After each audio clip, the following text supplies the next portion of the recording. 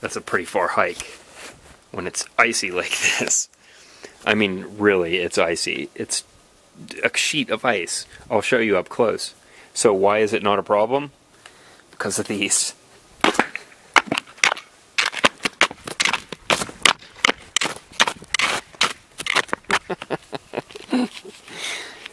okay, look.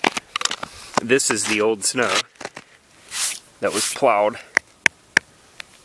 And it melted again and refroze and it just rested this sheet of ice all over the place. So I spilled my coffee over there and oh no, that won't do. So it prompted me to make some ice slippers.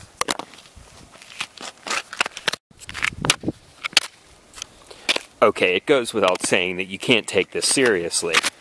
I mean, yes, it works.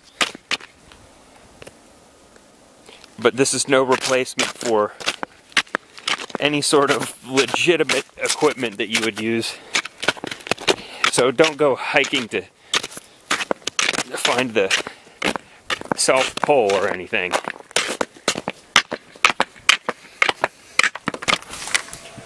But it's a pretty cool pair of flip flops for the icy days like today.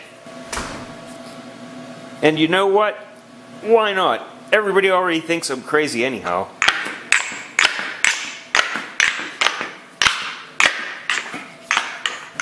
This is probably not the best design.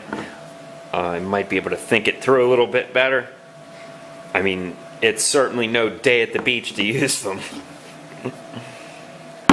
but hey, if you have to cross an icy parking lot and you need to not fall on your tail, this is the way to go.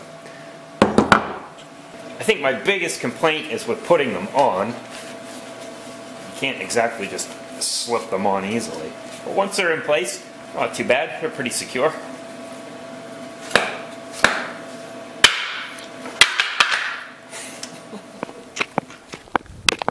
Listen to that sound. It seriously cracks me up. But you know what? They work. I didn't fall. Okay, that's definitely one downfall. Stuff sticks to the waffle really badly. But hey, it beats this.